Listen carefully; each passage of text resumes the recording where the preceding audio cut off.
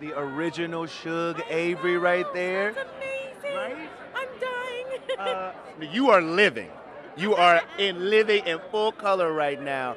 When you got the call for this, what what was it like? I mean, right off Little Mermaid into this, or was it the other way around? yeah, no, it was right off Little Mermaid. I actually sent in my audition tape for this film while I was doing Little Mermaid. Were you? So when I found out I got the role, I was coming home finally from Mermaid, and I was like, oh my god, how cool!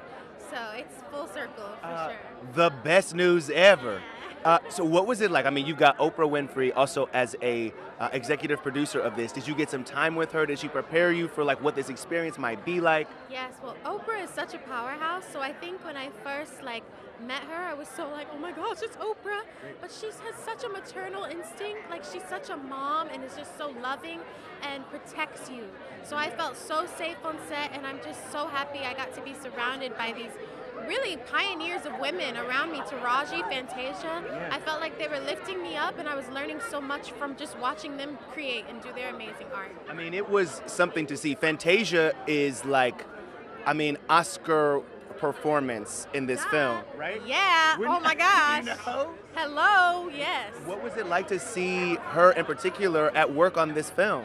It was insane, honestly. Like, I don't want to spoil anything for you. Oh, I've seen it. Okay, good. yeah, yeah, I was. So you I'm know, dialed in. okay, yeah.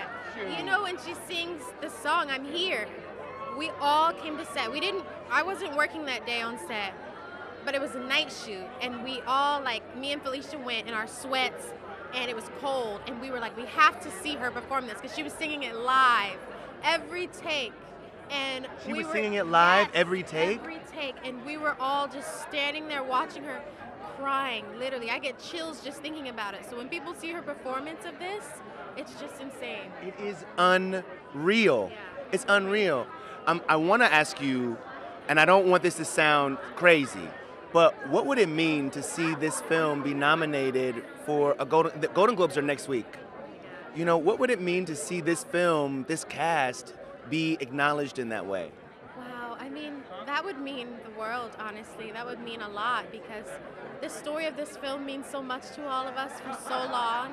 And just seeing this beautiful reimagination of it is so special. And for people to recognize the greatness in that, I think it would be an honor, honestly. But if not, too, we still did our thing. I mean, did that thing.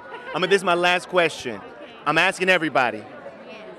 You from the original, what line do you go back to time and time again? I always, me and Chloe always sing the sister, been on my mind. That's like our thing. Like, I love that. Yeah. and she's got songs on the soundtrack. yeah.